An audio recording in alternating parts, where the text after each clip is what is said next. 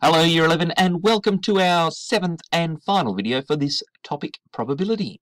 We're looking at conditional probability today which is something perhaps that we haven't seen before and I'm going to use the word uh, if here I think, if.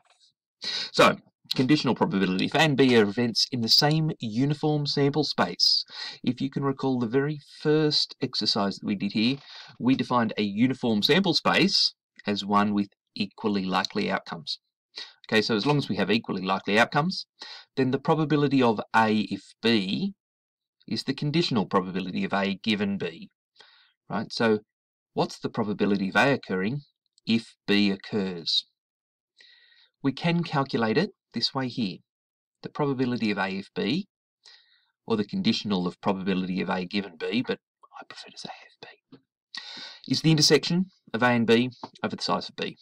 Right, another way of saying that is the probability of A occurring if B has occurred is the number of outcomes that satisfy both of those events divided by the number of outcomes that satisfy uh, B. Here's an example, and I think it makes a lot more sense once we look at an example. Okay, uh, consider a deck of cards, 52 cards, four suits. Three cards in that deck are secretly marked the Jack of Spades, the Jack of Clubs, and the Ace of Diamonds. A card is drawn at, drawn at random from the deck. So what's the probability that I draw one of those marked cards? Well, there are three marked cards from a deck of 52, so the probability, if it's chosen at random, is 3 in 52. Okay, that's not conditional probability, right? That's simple probability.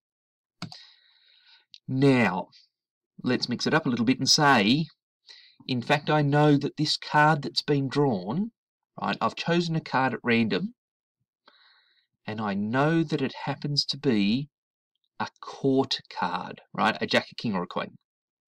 And there are 12 of those cards in a normal deck. So what's the probability, knowing that the card I've drawn is a court card, what's the probability that it's been marked? Well, there are 12 court cards, and two of them are marked, right? The Jack of Spades the Jack of Clubs, but not the Ace of Diamonds. The Ace of Diamonds hasn't been drawn. It, we may have drawn the Jack of Spades or the Jack of Clubs. So the probability of drawing a marked card if we have drawn a court card, right? Remember back to the formula here? It was the intersection of A and B. So the intersection, how many, how many marked cards are court cards? Two, divided by the size of B.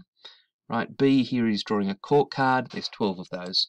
So the probability of drawing a marked card if we've drawn a court card is 2 and 12 or 1 and 6. And that's it. That's conditional probability and the end of this topic. I hope it makes some sense. I'm afraid I won't be in class today, um, but hold on to your questions. We'll do a fair bit of revision on Tuesday.